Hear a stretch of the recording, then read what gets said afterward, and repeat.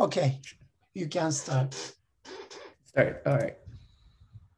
Hello, Ruby Turkey. My name is Peter Zhu. I'm a Ruby core committer and a production engineer at Shopify working on Ruby. It is my pleasure today to be giving a talk called a Rubyist Walk Along the C-side about Ruby C extensions. In this presentation, we will look at how to set up and use the Ruby C API. For this presentation, you're expected to be familiar with Ruby and have a basic understanding of C.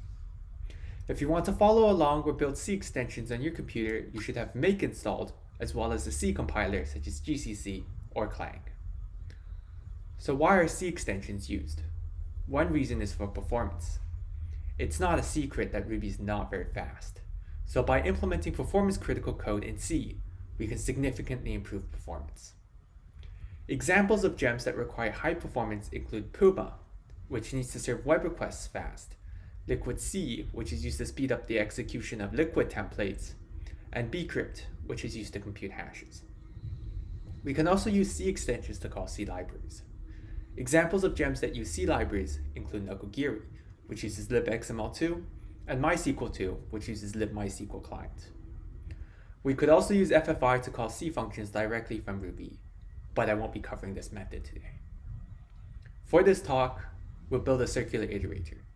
The circular iterator will take a Ruby array in its constructor and have a single method called next, which will return the current element and move on to the next. When this iterator reaches the end of the array, we loop back and start from the beginning again. Here we see an illustration of the circular iterator for an array of three elements. We start at the beginning of the array. When the next method is called, the, the cursor moves to the next element in the array. We can call the next method again to move to the next element in the array. Now that we're at the end of the array, we can call next again, so then we loop back to the start of the array.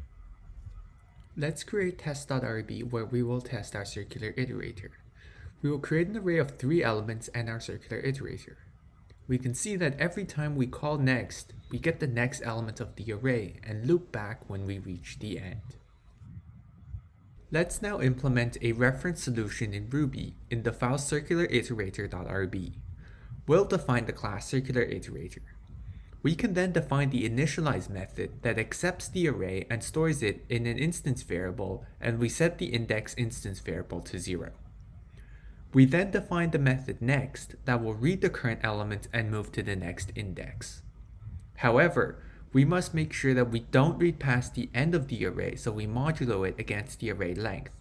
We return the element at the cursor at the end. We now load this implementation in our test script. We can run our test script in the terminal and see the expected output.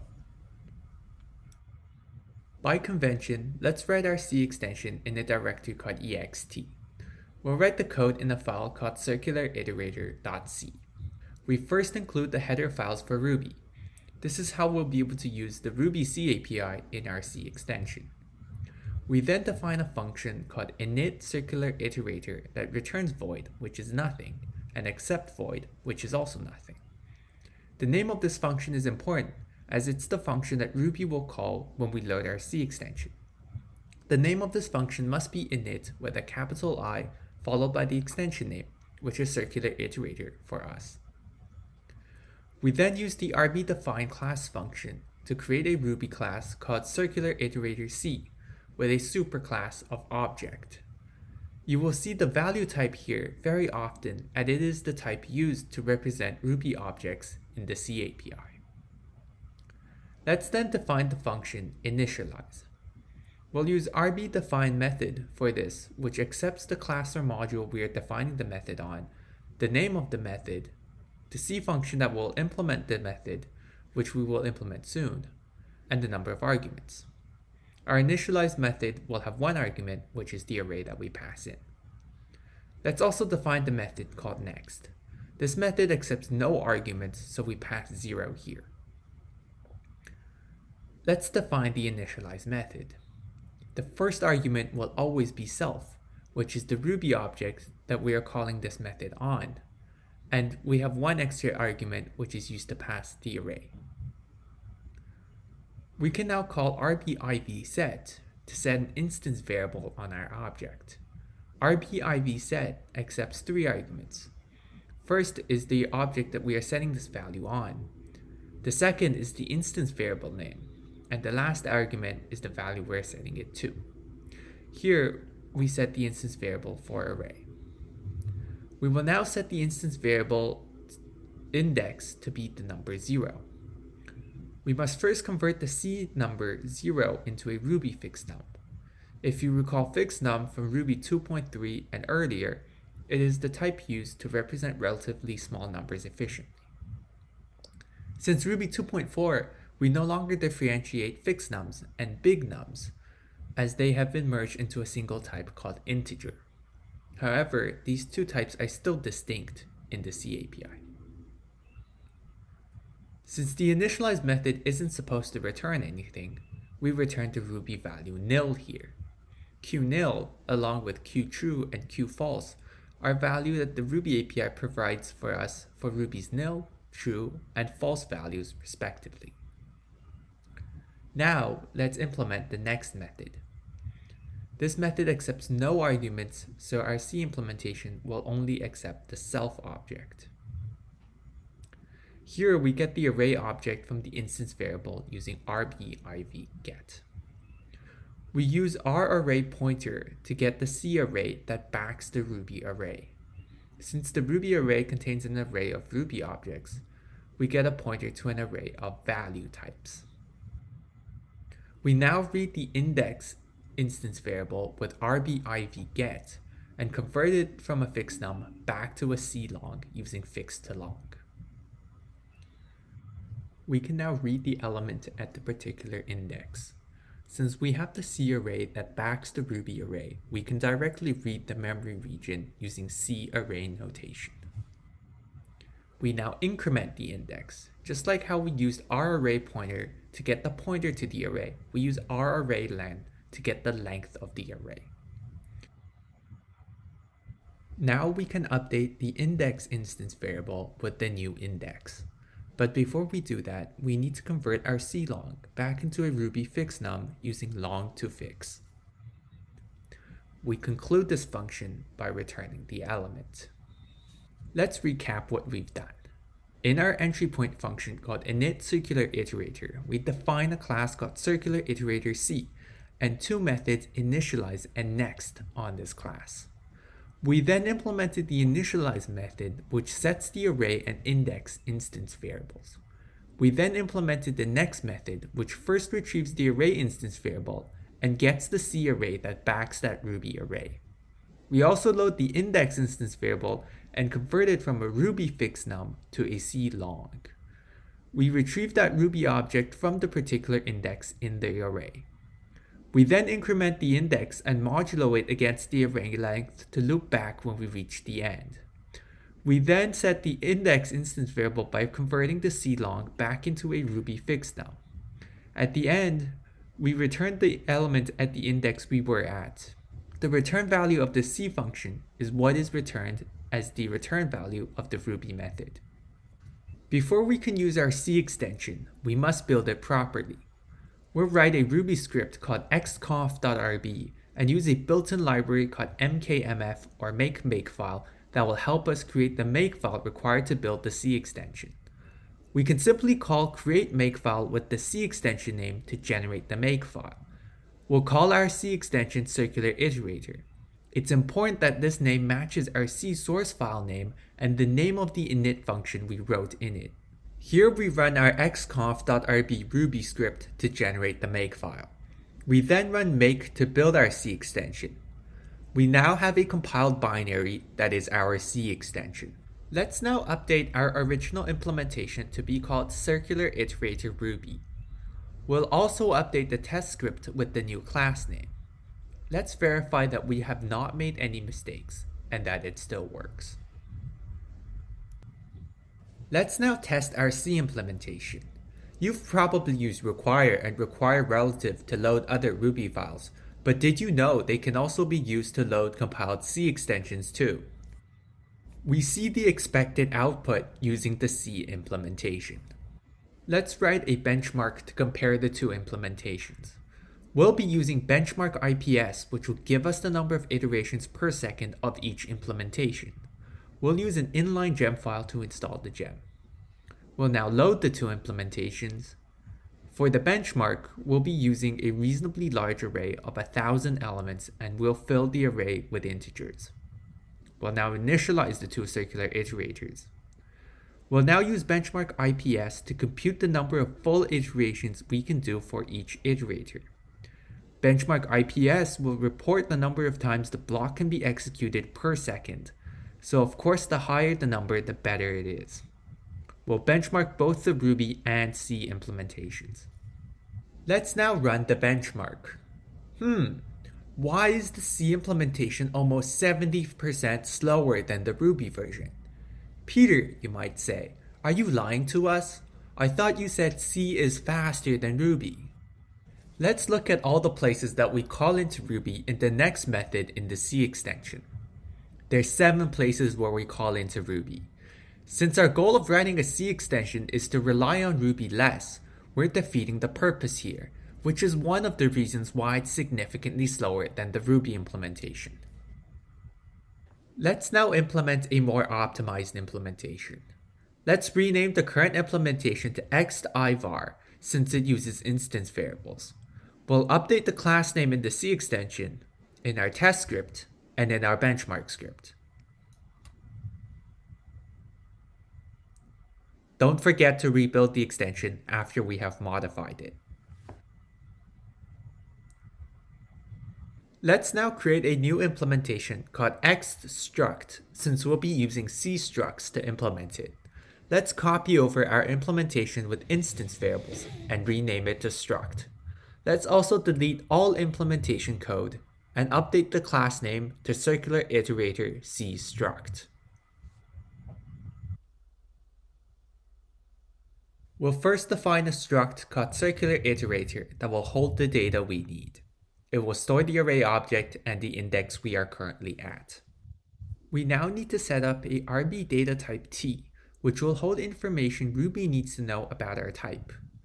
We'll create a global variable called circular iterator data type and we'll initialize it. We store the name in the first element which we call circular iterator. We then need to pass two functions, a mark function and a free function. The mark function will be the function Ruby uses when it needs to know what objects we are holding onto and should not be swept and reclaimed by the garbage collector. The free function will be the function Ruby's garbage collector uses to free this object when it's unreachable. We'll be using the default free function since we won't be allocating anything extra so we don't need to clean anything up. Let's implement the mark function. We are passed in a void pointer which is the pointer to our struct which we can cast it into our circular iterator struct. The only Ruby object we will be holding is the array. We need to mark it so Ruby does not reclaim and free the memory. If we did not mark it, then our code could be buggy, since if Ruby reclaimed this array, we would have a broken object, or if Ruby used this memory for another object, we would use a different object than what we expect. We need to define an allocation function for our class. This will be called when an object needs to be created but before the initialize method is called. We'll use rbdefine alloc_func, which accepts the class we are defining the allocation function on and the function that implements the allocation. Let's now implement the allocation function we just defined. The allocation function must accept one argument for the class of the object and return the allocated object of this class. In our case, the class argument will always be circular iterator C struct class, but it will not be true if an instance of a subclass was created. We'll create an instance of this class by calling typed data make struct. Typed data is a type of object that allocates and holds a pointer to a piece of memory that you can access via the C API. But in Ruby code, this type will appear to behave the same as a regular Ruby object. We pass the class we are creating an instance of in the first argument, followed by the struct we are allocating in the second argument. We pass our previously created RB data type T for this type in the third argument, and we'll pass a pointer to our struct that will be updated to point to the circular iterator struct allocated for this object. we return the object that we allocated at the end. Now, in our initialize method, we'll get the circular iterator struct from the object using type data get struct. Remember, we allocated this object along with the struct in our allocate function we just implemented. We pass the object in the first argument, our struct data type in the second argument, the RB data type t for this type in the third argument, and we'll pass a pointer to our struct that will be updated to point to the circular iterator struct for this object. Once we have the struct, we can initialize its values for the array and index. Finally, our initialize method returns nil. We'll now implement the next method. Once again, we'll get a pointer to the circular iterator struct from the object using type data get struct. We can now get the array object directly from the struct without reading any instance variables. Once again, we get the pointer to the C array that backs our Ruby array and get the element at our current index.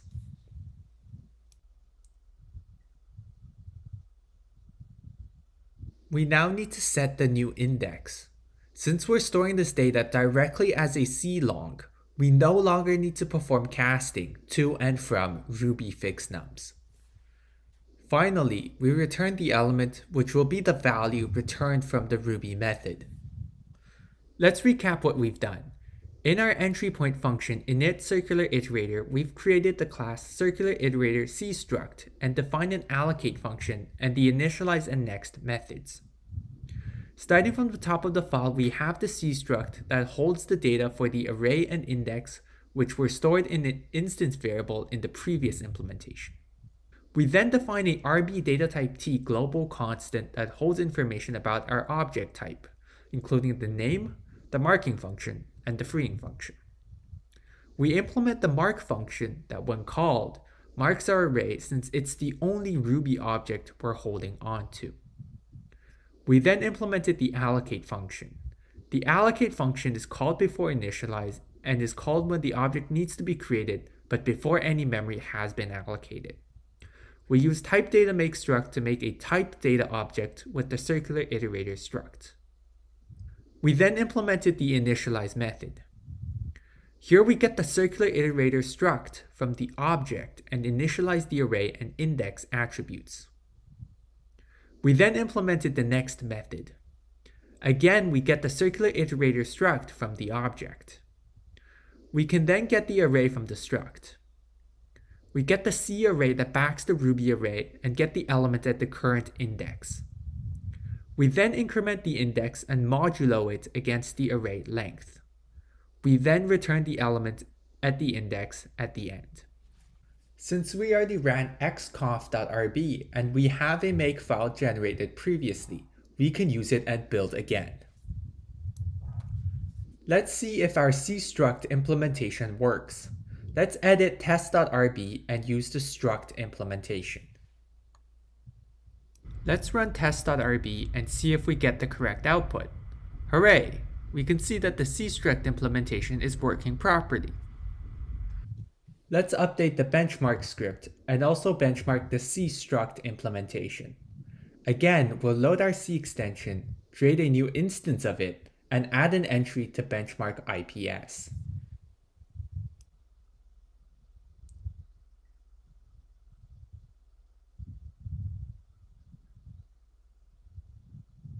Let's run the benchmark again. Indeed, we see that the C implementation using structs is almost 40% faster than Ruby. Here we see the benchmark results again in the plot. Once again, we see that the IVAR instance variable implementation is significantly slower than our Ruby implementation. We can also see that our C struct implementation is faster than Ruby. As an exercise for you, the viewer, is to try to optimize the C struct implementation. With some simple optimizations, I was able to get about 5% more performance. We have reached the end of the talk. I hope you learned a little about how to set up and write Ruby C extensions, and I hope this has sparked some interest in learning the C API. You can access all of the source code in this talk in this GitHub repository. I'm writing a series called A Rubyist Walk Along the C-side that goes more in depth into the Ruby C API. The first three parts are available, and more will be available as I continue to write them. Feel free to follow me on Twitter. My handle is peterzhu2118. If you want to reach out, feel free to also email me. Thank you very much for listening to my talk today. If you have any questions or comments, my future self will be here to answer them.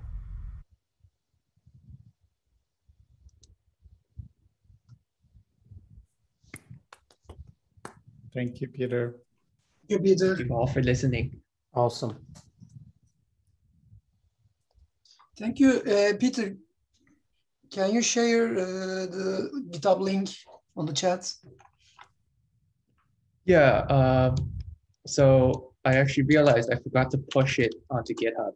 So I still need to do that. right. But it will be available very shortly.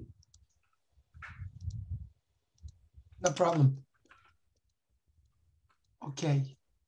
There's Yaşar has shared something. Yeah, I already did it.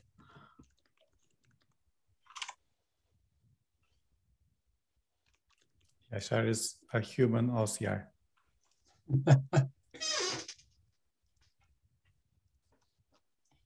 Turkish neydi? Şey vardı Amazon. Automated Turk. Automated Turkey.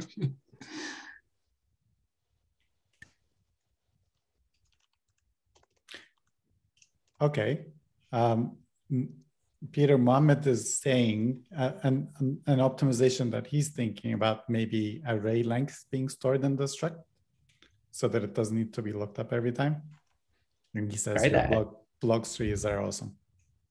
Yes, thank you, thank you. Yes, um, I encourage you to try to play around. Um, there's a wide variety of things you can do uh, that that will speed things up. Um, maybe storing the the array length in the struct is one of them. Give it a shot. But how can we be sure that the array doesn't change under us? You, sh- th- th- there's some assumptions you have to make. Right. Um, like for example, this this implementation doesn't work if the array is empty. Um, it will try to it will try to read index zero, which is actually non-existent. Um, Right. Yeah. Which is actually kind of problematic in C. Uh, but there's certain assumptions that you can make, and uh, and you know what? Maybe as a challenge, you can try to handle that case where uh, the length is zero. I have a few questions. Um, can we actually store the C array data inside the struct instead of storing the array value? Uh, Is that safe? Yes, yes, if the array never gets resized. If you don't add or remove anything from the array, yes. Right. Um, Or change no. or update any of the elements, I guess. You can store a pointer, and that would be safe because it it it doesn't get moved. Like the mem like the memory won't get freed, it won't move. So, uh, if if you update, that's fine. If you add or remove, then it's not safe. Okay. I also noticed that your benchmark code is never exercising the loop around. It is Is it? because uh, because uh, Oh, the it's on the same object. Right, but you're only calling it um, the number of times that it has elements. Sorry. Yes, but benchmark IPS, you know, for like the Ruby version was running at like 4,000 times. So it was running, it's calling next on the exact same object. So it's Right, not creating right. a new one. Oh, okay, okay, I get it. Yes, true.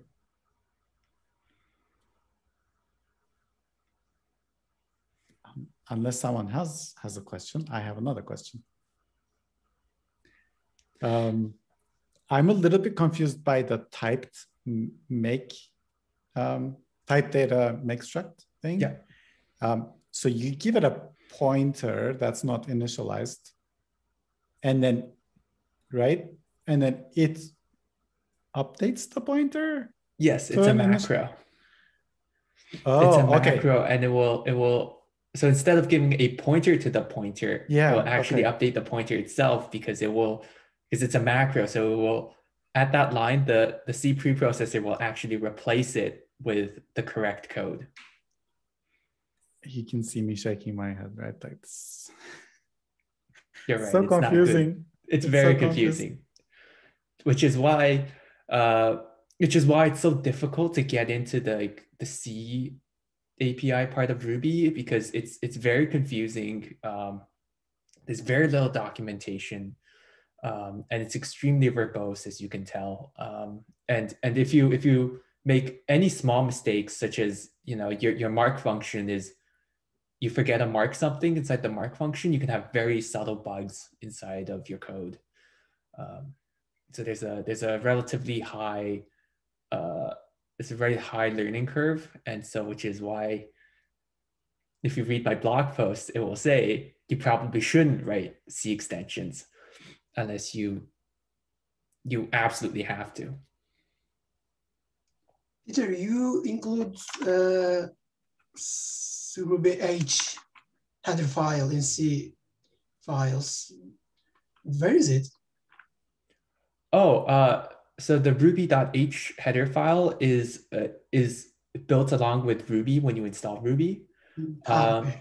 and, and where it is, um, It is in the Ruby. yeah, well, you actually don't know, which is why you need to use MKMF.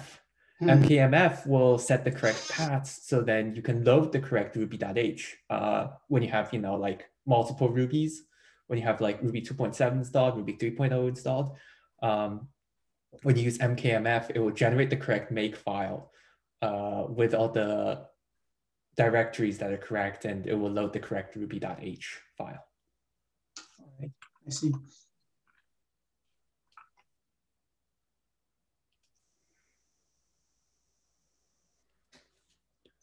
How to debug memory leaks in C implemented uh, Ruby libraries. Um, so there's there- there's like two kinds of memory leaks, I guess. Um, when you're writing C extensions, one is you leak a Ruby object, so you're holding onto a Ruby object that you don't need. Um, that one, um, you can use Ruby tools to, to help you debug, uh, like trace points. So you can figure out um, when you're, when the, the, the, like if, if you're growing in terms of number of Ruby objects and not going down, even though you're not actually using any of those.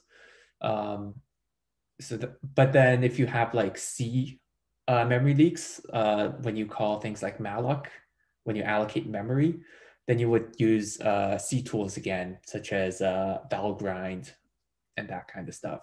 Um, yeah, so there's there's more possibility of memory leaks now because you have you have basically two types of memory. You have Ruby memory and you have C memory, uh, and you have to make sure you don't leak in both places. I think I know what Mohammed is actually specifically interested in. I think it's um, protobuf and gRPC. But we have the same problem and we don't know.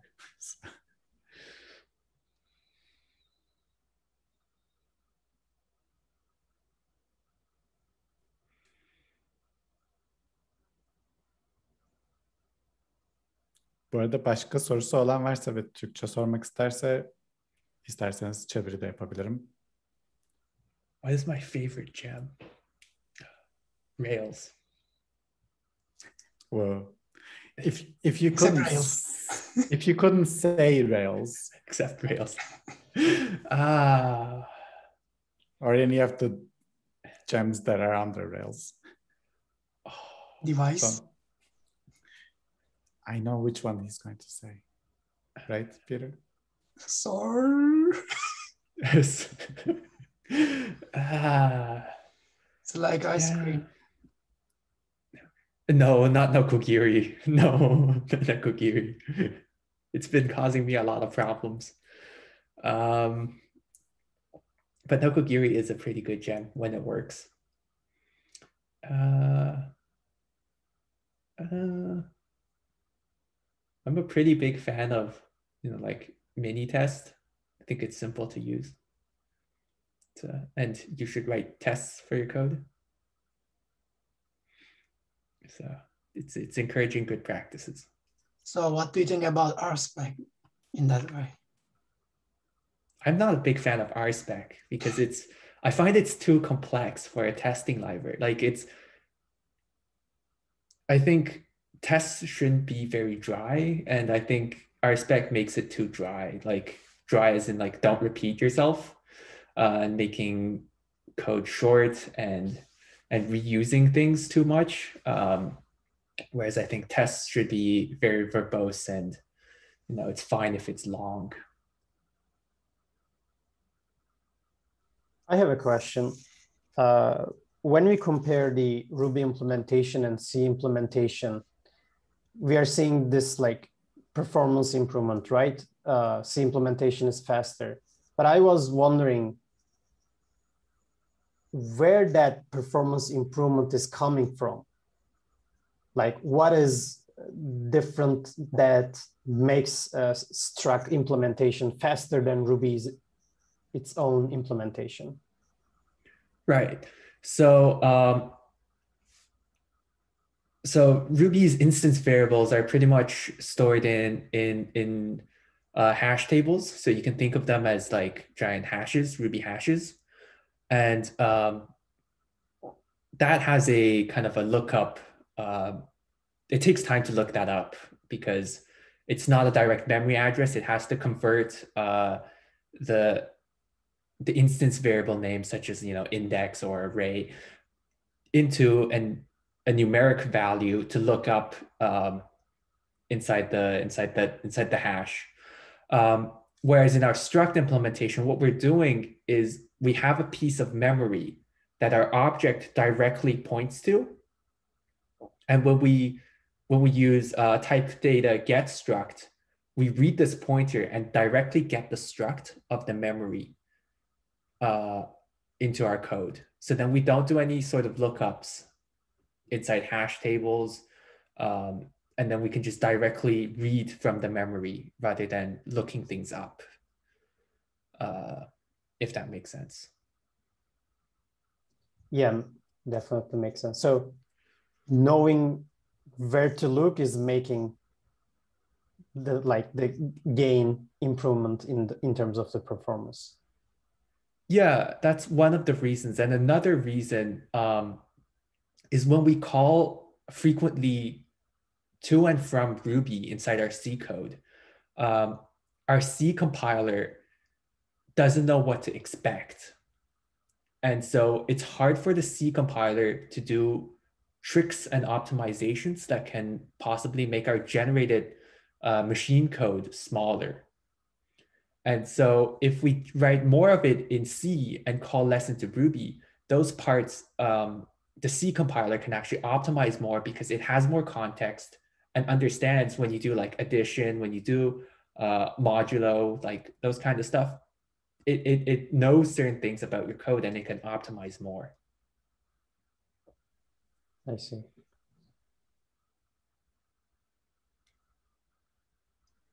So I just want another question. In in circular iterator C or other C files, in the circular iterator initialize method, you return Qnil. Why? Because it should be void method, I, I guess. So, because so unfortunately, every Ruby method has to return something. Mm. So so even in your initialize it's a method, C method. Sorry, it's a C. It's not Ruby. Yeah, but you're implementing a Ruby method using C. Mm-hmm. And when, when you write a Ruby method in Ruby, uh, every method returns something. It returns the, the, the, like even if you don't say return, it will return the last thing. It's the same thing here. You have to return something. And in, in, in the initialize method, it actually doesn't matter what you return because you know in Ruby, you know that if you return anything from initialize, it just gets discarded. it's the same thing here. You have, but because the C compiler uh, requires a, a return value, you must return something. So you can return anything you want. And by convention, you just return nil. It's a, it's a simple, straightforward thing to return. Um, I have one more question. Go ahead. Um, in circular iterator next method, do we have to use our array len method to to calculate the length of the array? Can't we use like any method from C itself? So, so we got the uh, region of memory from the from the Ruby array, but the region of memory we got might actually be larger than the number of elements because um, one of the one of the theories in computer science is that, and, and this is used in almost every language, is when we want to resize an array, we actually double the capacity. So you might start off with, let's say, capacity three, and then let's say you add the fourth element, then you will have enough space to actually store six elements. And then when you want to store the seventh element, it will double again and you will have enough space to store 12 elements. So the memory uh, region might actually be much larger than um, than uh, that than what is actually in the Ruby array. And and the the empty space there, it could be anything. It's it's just whatever was there left before by whoever was using it before. And so um, we need to we need to get the the array length from Ruby. We need to let Ruby tell us what the length of the array is, so we know how much to read and how and when to stop. If we assume array will not change in terms of the length, then then maybe it can work, right? Yes, yes. Uh, if we assume that the the array length doesn't change, then we can uh, put that value in the struct instead and read it only in the initialize method.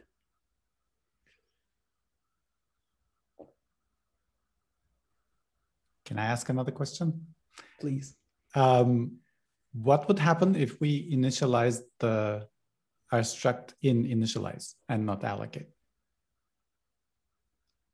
We are initializing our struct in initialize, uh, but you can do it in either in either spot, except for objects that you need to pass in.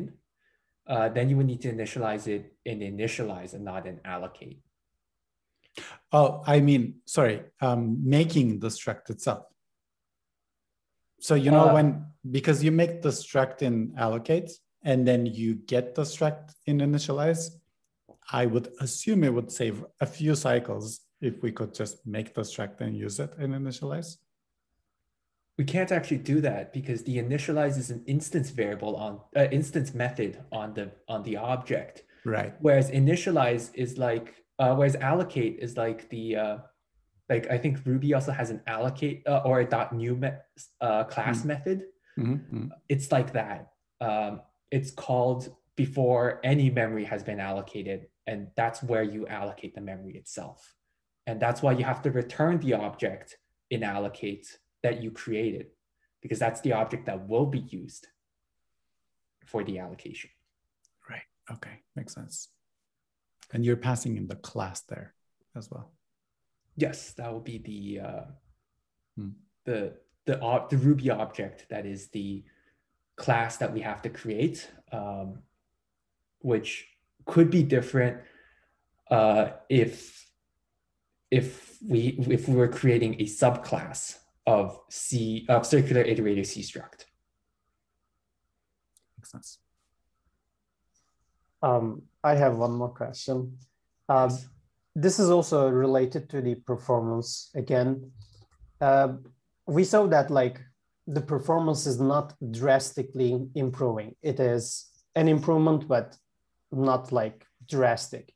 So I'm wondering uh, at Shopify, do you have any scenario that still like considering this improvement is uh, still like provides you enough performance boost on any of like I don't know endpoint it can be or any method, any class. So you have to implement it in C. Yeah, so open source Liquid C. Um, so if you've used Liquid, uh, if you use like Jekyll templates, if you use Shopify itself and you write Liquid, um, uh, so there's a Ruby implementation called Liquid, and there's a C implementation called Liquid C. Um, Liquid, so it's a it's a templating language. It's it's like it's sort of like uh, PHP or ERB, except it's um, except unlike ERB, it's actually safe. So you can run untrusted things inside of it. Um, and there's a Ruby implementation in uh, called Liquid. It's an open source gem, uh, and there's a there's a gem called Liquid C that goes on top of Liquid that writes the most uh, the most imp- like the most performance critical code in C, uh, and so it, it gives a major speed up to to executing Liquid Liquid templates. Um, and and yeah, and because Liquid templates is what we use to to generate the storefront, like the, the HTML that you see when you go onto a shop. Um, so it has to be generated very, very fast. So that, that's where C is very helpful in actually perform, giving us the, the performance improvement that we need. Do you know how much faster it is with the C implementation compared to the Ruby implementation? If I recall correctly, the benchmark is like somewhere around two to three X, I think. Okay. It makes a Uh, big difference there then. It makes a very big difference, yeah.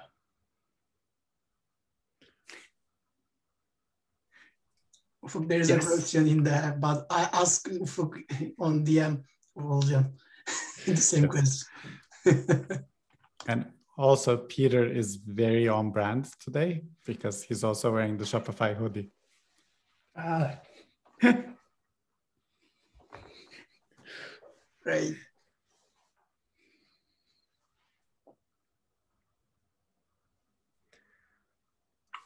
Peter, you work with Ufuk? yes. Ah, the same thing.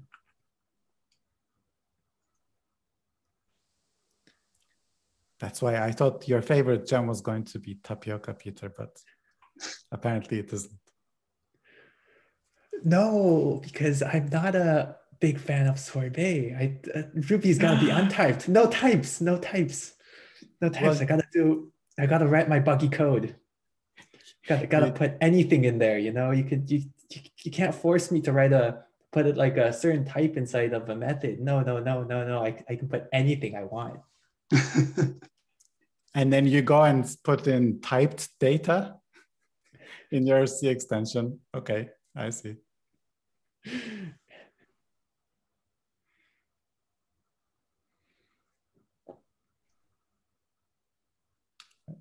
Are there any other questions apart from the Shopify flag?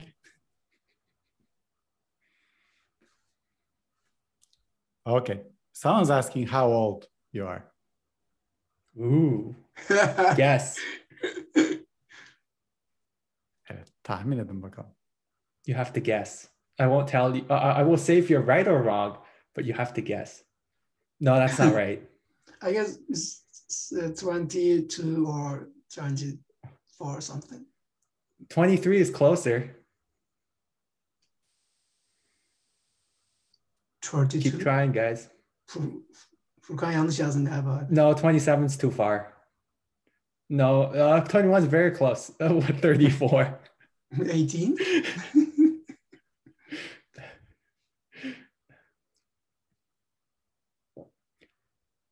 I am 20.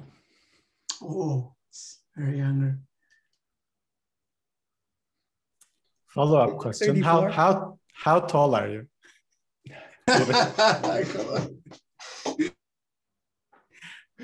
Uh, I am 193 centimeters. Yeah. 93. Yeah. Um, Peter, is it your uh, day-to-day job to write like C extensions? No, I, I write Ruby itself.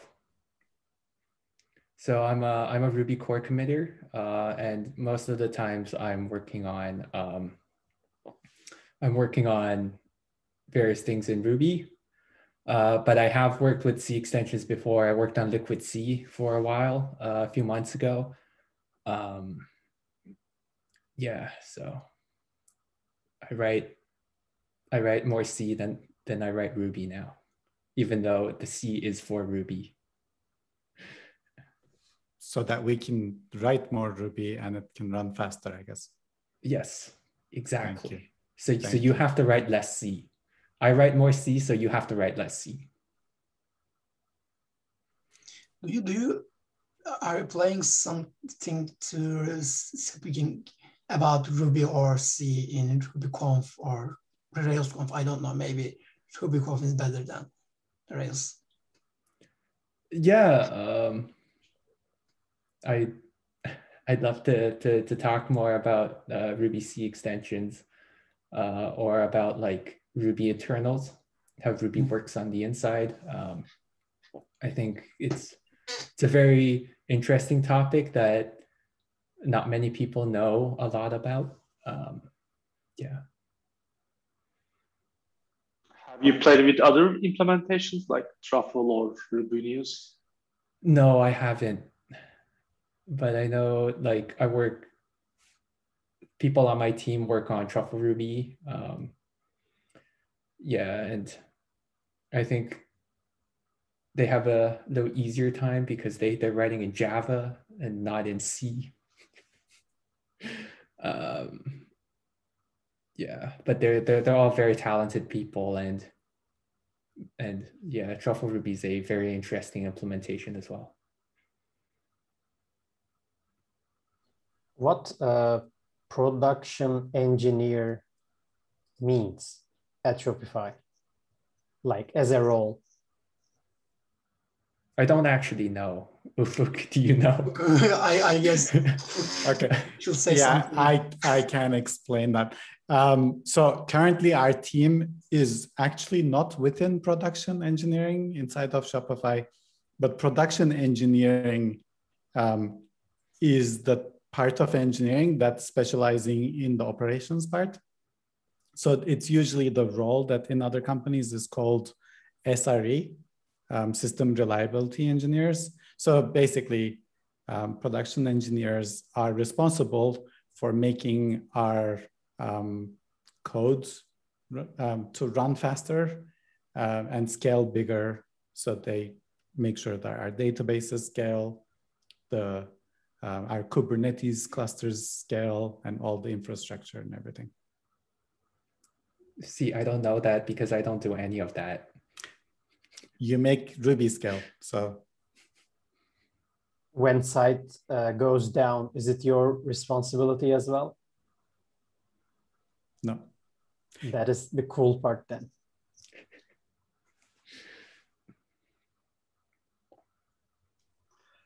What do you think about like the uh, just-in-time completion, like but specifically for Rails? Do you see any like big, like major gains in foreseeable future, or is that like at least a couple of years later? Rails is a bit harder because Rails does a lot of meta programming and and it's a like it uses a lot of features of Ruby.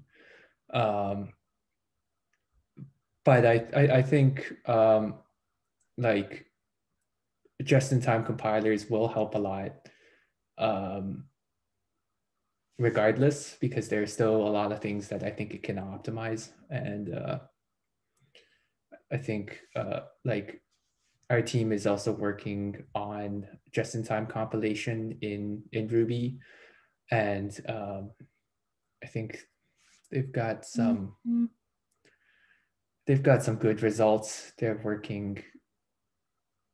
I think that they're, they're working towards uh, actually having it in Ruby, but um, I don't think it's anytime soon. Um, yeah, I mean, right now we already have mjit uh, in Ruby, which which I believe JIT's a whole method. but I think that one doesn't have any tangible benefits in, in Rails right now. Maybe I can say that most recent numbers on YJIT show a little bit of a performance improvement in the Rails benchmark. So is it fingers three three point one or like in the Ruby or some on the head? This, this no, this is a a, a branch of Ruby Hmm. that the team inside of Shopify is building lighter weight JIT, uh, JIT inside. Um, it looks promising, but too early. Uh, so why did I decide to contribute to Ruby? Um, so long story. Um, two years ago when I was an intern with Ufuk, uh, I worked on Sorbet and that kind of stuff. And uh, right before I left, I was like, next time I come back, I want something really challenging. And uh, and he lived up to the promise. And I came back and I got something very challenging. And so that, that's uh, that's how I started working on Ruby. Um, it's a like I'm not gonna lie, it's a very challenging code base. There's about 30 years of of code in there, and some of the quality is not great. Um, so yeah, I've I've been working on various parts of Ruby and uh, cleaning things up when I think they're they're not very good in some parts.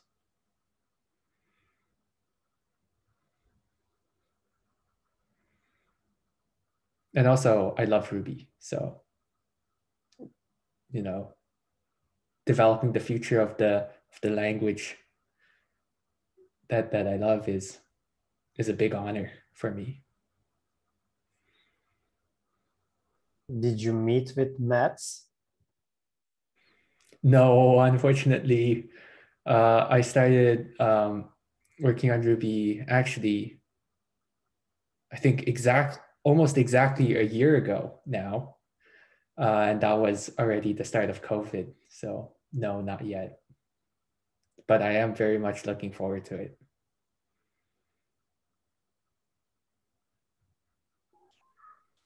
Can you like how does a language designer work when like that person got stuck? So when I have a problem, I can go to Google or like Stack Overflow.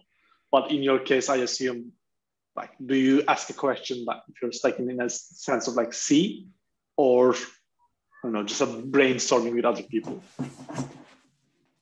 You read a uh, what is this 500 page book about garbage Lovely. collectors and, and you hope this gives you some motivation on uh, on how to get unstuck uh, on how to develop certain features um, but you're right it's it's not easy and there's there's stack overflow helps very little. Um, so sometimes you, you have to read uh, university papers and that kind of stuff yeah um, other languages internals. Um, yeah i dug a little bit into how python sort of works. Um, and um, actually I've read a lot of things in V8, which is the, the JavaScript engine inside uh, Chrome. And they, they've written some very good stuff about how they're working on optimizing performance. Um, and so I, actually highly recommend V8's blog if you want to know more about how languages are implemented and optimized. Uh, they've written some very good stuff there.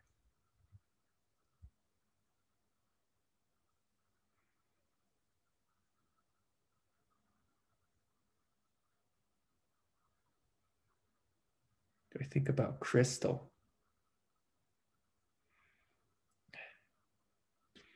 What do I think about crystal? I think the I think the syntax is nice. I think it has a lot of potential. Uh, but at the end of the day, what really matters is if it takes off, if there's a community that gets built around it. And uh, we don't know that yet, but I think it's a very promising language because it's it's promising very high performance where while still uh, being very similar to Ruby. It's, it's comparing with Go language. Have you tried Go ever? A little bit, yeah. Hmm. What do you think about it? I prefer object oriented. Yeah, it's it goes got its nice part. Um, if you're if you're into functional, I think it's pretty nice, but uh, I'm not a big fan of functional. Maybe because maybe because I've I've written too much C and now I get haunted by functional. Do you graduated from Stanford? Am I right? No, no, no. Oh, sorry. No, I, I went to uh, I went to U of T, University of Toronto. Ah, sorry. The, which language did you learn in in school? C or other?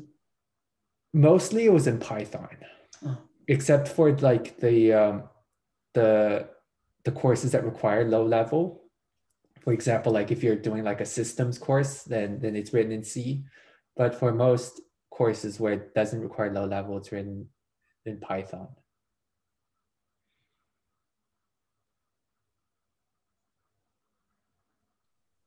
I have a question uh, about Liquid C. Is it totally safe to uh, switch from Liquid Ruby to Liquid C? So uh, it, Liquid C doesn't replace Liquid. What it does is it actually complements Liquid and it, because it doesn't replace everything in C, it uh, replaces the, the, the most performance critical things in C. So what should be safe is you install both Liquid and Liquid C. And what Liquid C will do is it will, um, at runtime, use use Ruby features like metaprogramming and uh, and uh, and and redefine methods Mhm. um, that are the highest that are performance critical, and then run run C code for those instead of Ruby code.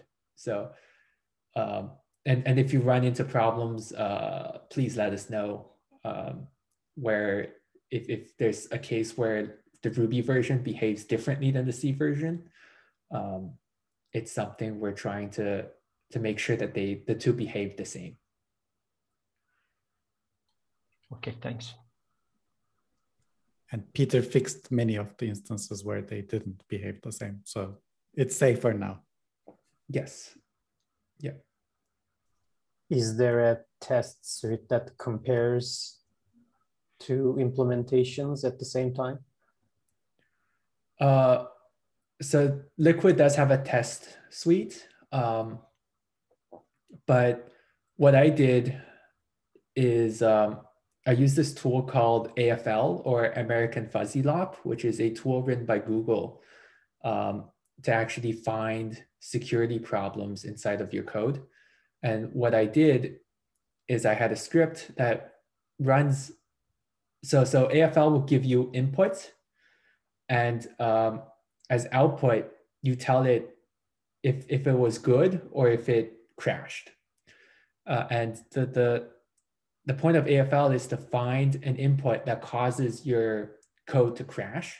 And so what I did is uh, when AFL gives me the input, uh, I'll, run it against Liquid Ruby and Liquid C, and then compare the difference, uh, compare the two outputs. And if it's different, uh, I get the script to crash itself. And so that would give me the, the, the sets of input where Liquid Ruby and Liquid C produce, the diff- produce different outputs.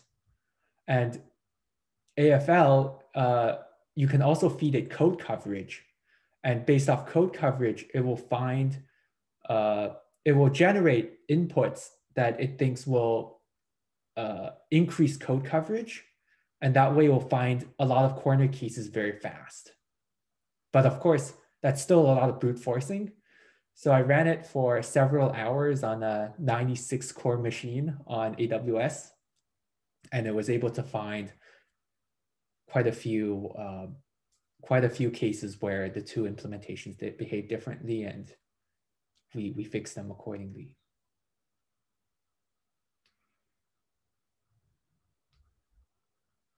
I think one of the easiest way to understand into uh, test on a production environment. So probably clients will tell you if they see any difference on their websites.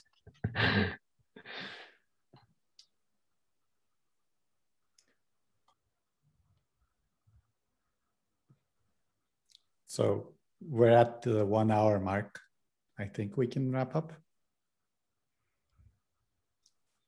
So if anyone has a final question, maybe we can take the final question from Yashar. Yes. Uh, it's not really, it's not the final question, I guess. so issue or feature. So we have like a roadmap of features that we want to do, but in terms of bugs, um, you know, like if it's if it's something that if it's a bug that that was caused by me, then I should fix it. Um, and if if it's something I think um, I can tackle, or uh, yeah, or like I think I'm I am well suited to to fix, and you submit to uh, the Ruby bug tracker, then then then I'll I'll, I'll fix it. Um, yeah, but if it's like something like I've no idea what's going on, then I like I'll leave that to the to the other people who know better than I do. Did you share your setup uh, in anywhere in Twitter or Instagram? What kind of setup? Your like office setup because I was I was seeing you looking at like top parts. Maybe you have some screens. I I wondered like uh, how it looks like. Yeah. Um, I've got, oh, this is, sorry, give me one second. I need to undo some cable. Abi adamı niye yoruyorsun? If you shared, So I've got, I've got my, uh, I've got my laptop here, and then I've got a, I've got a curved ultra wide here, got a curved ultra wide, and then I have another monitor on top. So uh, a lot of monitors. Yeah, I was just wondering because you were looking up. Yes. Thank you for uh, sharing that. Yeah. Um, it's a lot of monitors. yeah. I mean, if you if you're considering and you haven't gotten one, a curved ultra wide is great for writing code. I'll just say that. You said a 32 inch or 34? It's a 34 inch 34. curved ultra wide. Yeah. It's uh it's great when you want to split and you have two two vertical panes.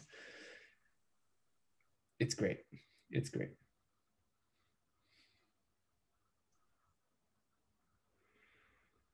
So, final questions. I think we already had final questions. Yes. Peter, is there anything you want to add or? Um, Oh, uh, thank you all for listening. Um, I, if you have any sort of feedback, uh, I, would love to know. Um, you can like email me, uh, or uh, DM me on Twitter or something. And uh, so if you if you had trouble following along, I'd love to know that as well. Uh, maybe I went too fast on certain parts. Maybe I didn't explain certain things well enough. I'd, I'd love to know because this is the first time I've given a talk. So really like to know if if if the pacing and everything and the content was was good. But thank you very much all for listening. Uh, I really appreciate it. thank you, Peter. And with that, I'll uh, I'll leave you guys back with your conversations. Have a good evening, everyone. Thank you. Bye. Thank Bye-bye. you. Bye. Bye.